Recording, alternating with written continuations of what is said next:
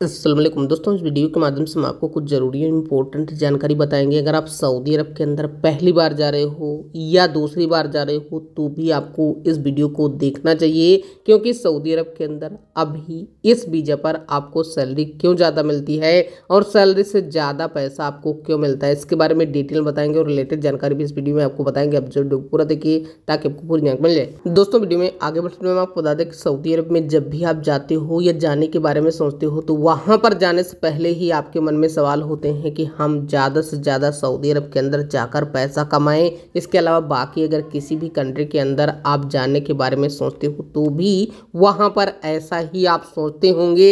लेकिन जब वहाँ पर जाते हो तो वहाँ पर आपको टाइम पर सैलरी ही नहीं मिलती। इसके अलावा वहाँ पर ज़्यादा पैसा कैसे कमा सकते हो, उसके बारे में नहीं पता होता। तो ऐसे में इस वीडियो के माध्यम से हम आपको कुछ ऐसी जानकारी बताएँगे और ऐसे वीज़ा के बारे में बताएँगे जिसमें आप ज़्यादा से ज़्यादा पैसा कमा सकते हो, चाहे आप सऊदी अरब जा रहे हो या Kuwait, Qatar, Bahrain, Muscat, Oman, Dubai, किसी भी कंट्री में अभी जा रहे हो तो।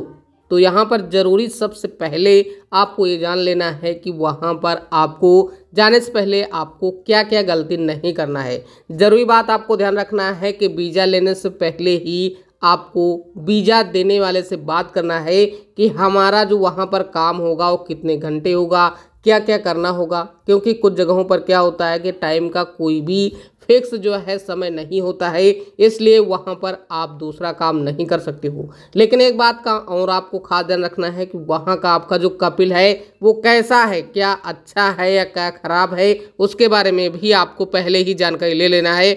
अगर वो कंपनी या कपिल अच्छा है तो आप पूरी तरह से सैलरी से ज़्यादा से ज़्यादा पैसा कमा सकते हो। यानी जो भी आपकी सैलरी है, उससे भी डबल या तीन गुना पैसा कमा सकते हो। लेकिन यहाँ पर ख़ास बात एक और है कि ज़्यादातर जो लोग हैं वो यहाँ पर घर खाते में जाते हैं तो ही ये काम मिलता है। वरना आपको पूरी तरह से जो आज़ाद वीज़ा वाले हैं या इस तरह के काम करने वाले हैं, जो बाहर काम करने वाले हैं तो यहाँ पर ध्यान रखना यही है कि आपको उसी का वीज़ा लेकर जाना है और पूरी तरह से आप काम करके ज़्यादा से ज़्यादा पैसा कमा सकते हो। इस वीज़ा का और काम का नाम हम आपको बताते हैं, जैसे कि अगर आप अपने देश में हो तो वहाँ पर वॉचमैन या चौकीदार इस तरह से बोलते हैं, लेकिन बनी बिल्डिंगों के अंदर का काम नहीं, जो बन रही है बिल्डिंग, उनके अंदर के काम को वहाँ पर अगर करते हो, यानी जो बिल्डिंग बनती हैं, जो वहाँ पर हारस बोलते हैं, अगर ये काम पर आप जाते हो तो पूरी तरह से